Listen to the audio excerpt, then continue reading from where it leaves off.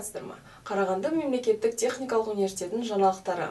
10 желтоқсан қарағанды мемлекеттік техникалық университеті қазақстан республикасының тәуелсіздігінің 20 жылдығына арналған нұр отан хдп және мкк жас отанмен бірге қазақстан республикасының білім және ғылым министрлігінің көмегімен республикалық қазіргі жастар арасында қазақстандық патриоттық сезімді қалыптастыру әдістері мен мәселелері атты конференция ұйымдастырды. Оған 40 жоғарғы оқу орны мектеп және колледждар қатысты. Ол шамамен қазақстандық патриоттық 400 студент пен оқытушылар ұстаздар мен оқушыларды жинады. Қазіргі қауымда басты рөлді өскелең ұрпақтың зор денсаулығы отандық патриоттықты тәрбиелеу болып табылады. Конференция қарағанды мемлекеттік техникалық университетінің бас ғимаратының акт залында сағат 10-нан 12-ге дейін өтті. Қатысушыларға алғыс сөзбен қарағанды мемлекеттік техникалық университетінің ректоры қазақстан республикасының ұлттық ғылым академиясының академигі ғазалиев арстан мәуленұлы сөз сөйледі. Отырыста келесі баяндамалар оқылды. Ертісбаев қазақстан республикасының ішкі сұрақтары бойынша кеңесшісі. Утешев мкк жас отан хдп нұр отан жастар қанатының рөлі жас қазақстандық патриоттықты қалыптастыруда. Есенгараева хдп басқармасының орынбасары патриоттық және іскерлік. Матвиенко әғп кафедрасының меңгерушісі патриоттықты тәрбиелеу моделі. Ермеков мэри эдикейшн компаниясының директоры. Менің азаматтық көзқарасымды қалыптастырудағы әлихан ермековтың рөлі. Сағат 13.10-нан 15.00-ге келесі төрт секцияның жұмысы қаралды. Қазіргі жастарда саяси мәдениет пен құқықты қалыптастыру мәселелері агкп кафедрасының доценті қасымова қазақстандық патриоттық тарихи естелік ретінде қазақстан тарих кафедрасының доценті данияров қазіргі жастарды тәрбиелеудің психологиялық педагогикалық әдісі по және мвп кафедрасының доценті котинг инженер үлгерім синонимі по және мвп кафедрасының доценті самашева. Сағат 15.00-дан 16.00-ға дейін акт залында конференция аяқталды. Онда ең қызықты дәрістер және берілген форумның шешімі қабылданды. 9 желтоқсан қарағанды мемлекеттік техникалық университетінде түлек 2012 жәрмеңкесі өтті. Бұл жыл сайынғы жұмыс берушілер мен болашақ түлектер кездесетін жиылыс. Жәрмеңке бас ғимараттың ак жұмыс берушілер мен жоғарғы оқу орын басқармасының сөйлеуінен басталды.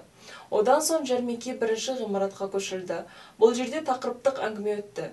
Студенттер мекемелерге қандай мамандықтар керек екендігін жұмысқа алу шарттарын білім және өз түйіндемелерін тастай алды. Ал бірінші корпустың 207 және 209 аудиторияларында жұмыс берушілердің конференциялар көрсетілді.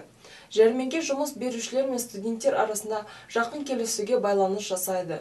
Сонымен бірге жәрмеңке уақытында диплом алатын студенттерге өзінің технологиялық өндірістік және дипломдық практикалық өтуге келісім жасасты.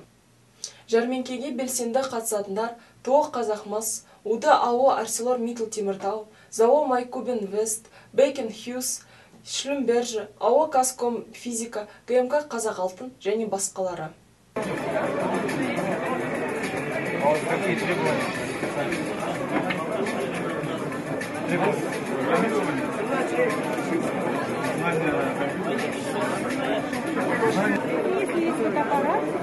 Есть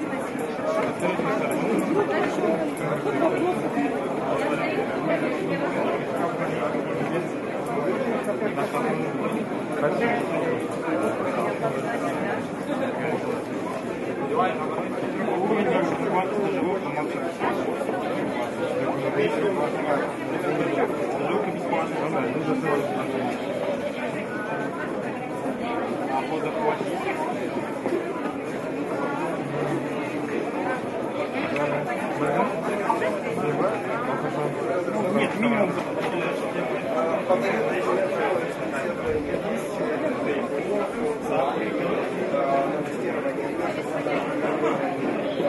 поддержки, это сопровождение программы обучения которого было внедрили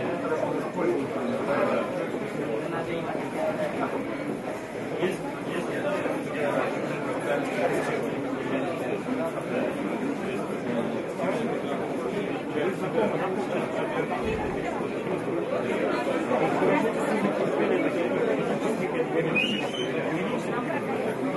Сейчас компания на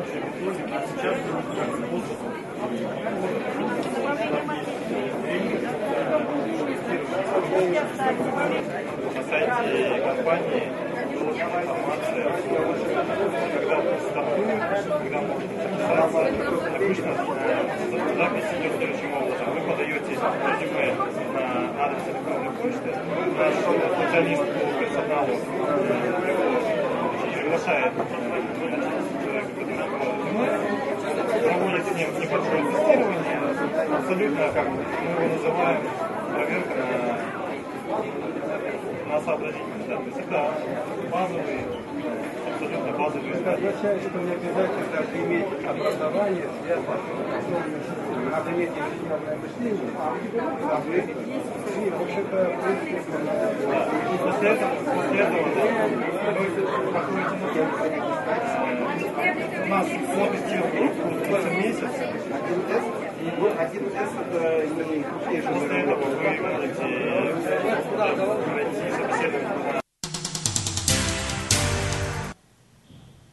алтыншы және жетінші желтоқсан.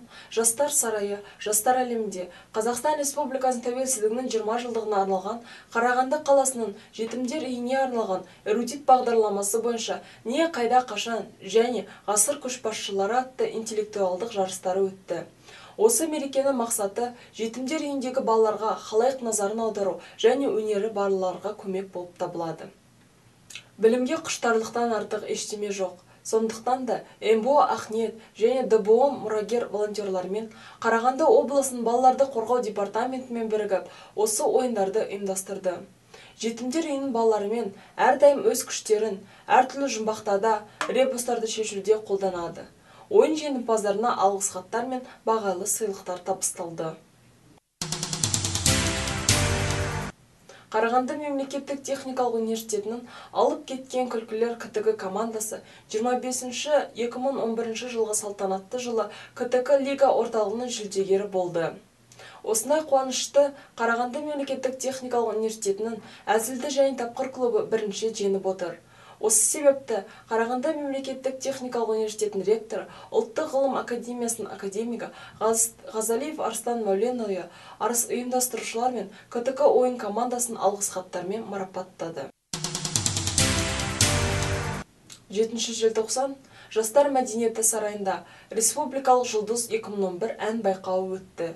Онда ПС-11 ИКТС тобының студенті Имашхан Тілеубек үшінші орынды иеленіп, мадақтама мен 100 мың теңге ақшалай сыйлықпен марапатталды.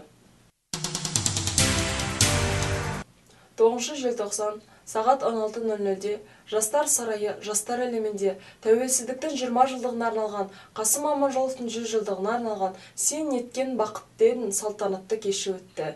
Кеш Қарағанды мемлекеттік техникалық университетінің жаңа буын студенттер студиясымен дайындалды. Халықаралық балалар күні қарсаңында Жастар сарайы Жастар әлемінде Қарағанды қаласының жетімдер үйінің балаларына арналған күзгі бал өтті. Ертегілер көрінісі балалар үшін Ахнет студенттермен қойылды. Қатысушыларды қызықты ойындар және ерекше тапсырмалармен бағдарлама күтті. Арнайы балалар үшін Жаңа Гвинея, Кавказ, Америкадан ашық билер және Ибраева Аиданың орындауында көз әні дайындалды. Мереке қорытындысында король мен королева таңдалды.